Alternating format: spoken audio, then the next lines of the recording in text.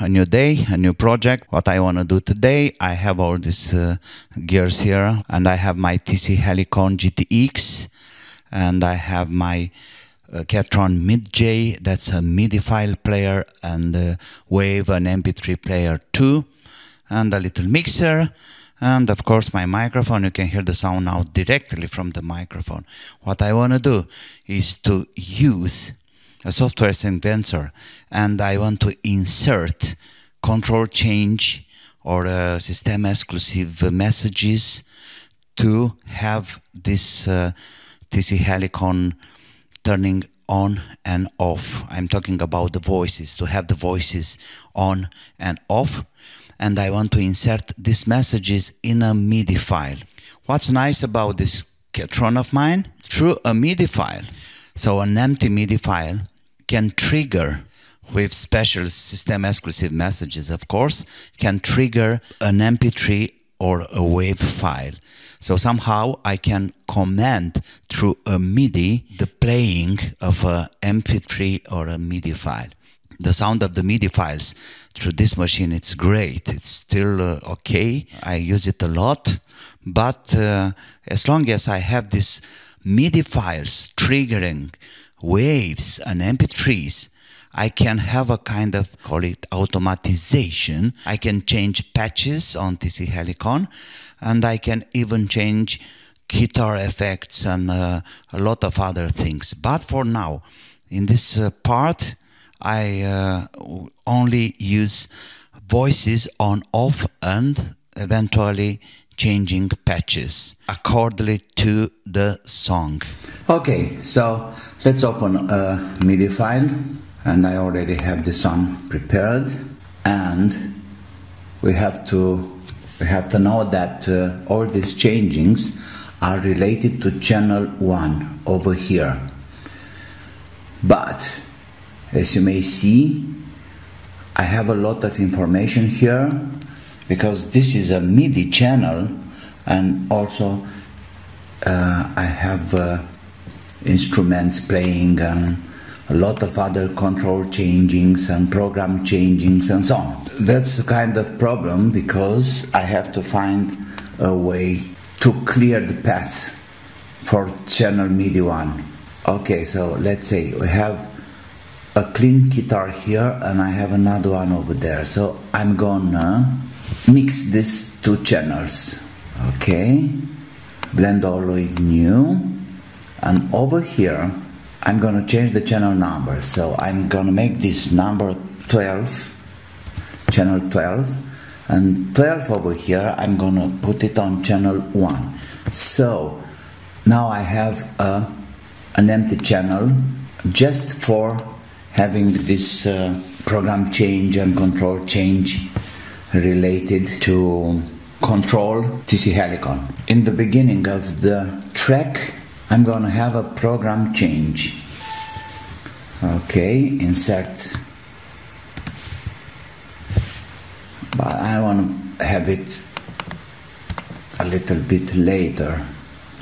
It can go to measure 2, doesn't really matter as long as it's the beginning and I'm not using the voice from the beginning it's a patch change and because I'm using patch number 24 this will be a really easy task so 0 over here and number 24 over here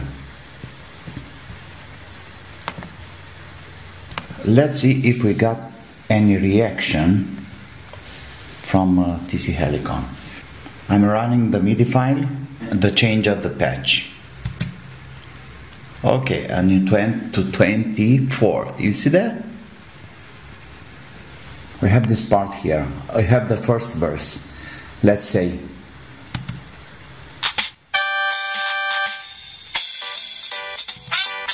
and I want the voices on over here.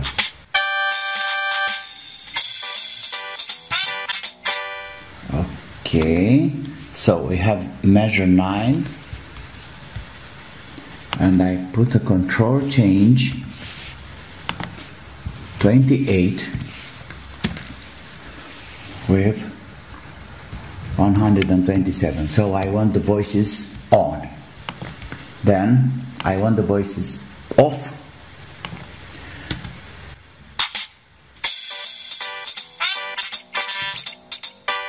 After this saxophones, so I'm 11, 12.0, okay.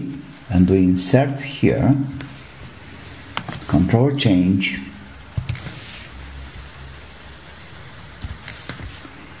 with zero because I want the voices off. Okay, let's go further. Let's see again.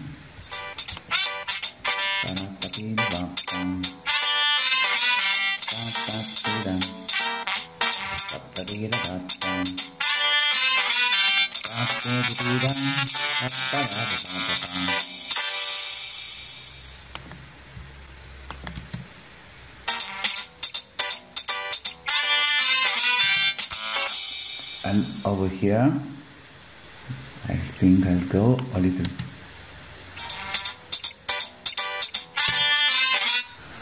Insert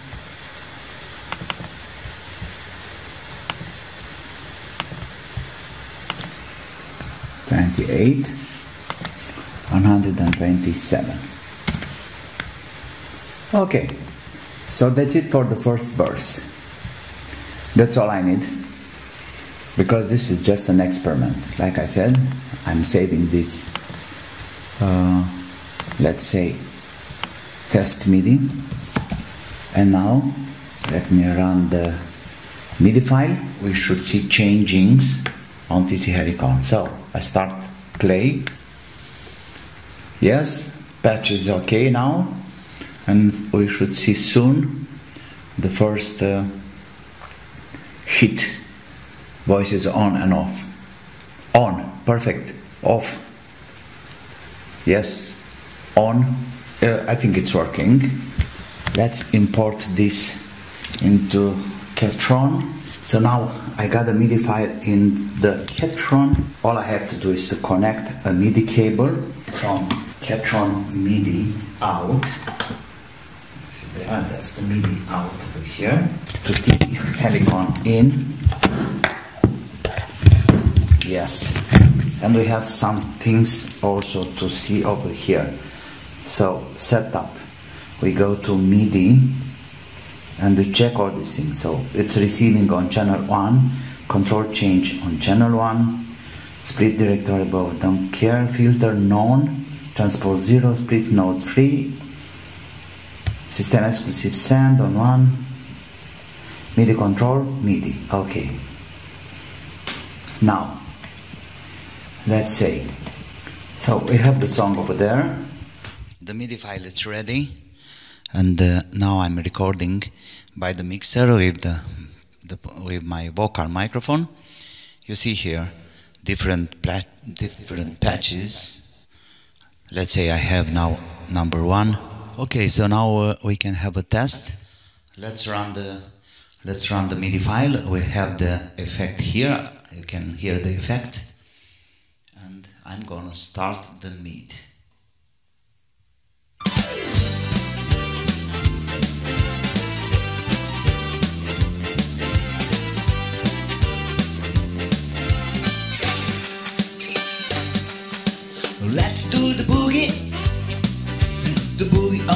Along. Let's do the boogie, everybody come along. Let's do the boogie people receive the money down. Well, I may say that it's working. There should be another on and off for the voices, but this is just a test.